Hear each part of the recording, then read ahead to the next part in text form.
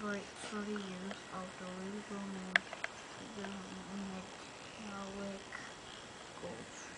This reveal will randomly insert into 2006 Lego Star even rare this free this reveal they were made out of solid one 4K gold.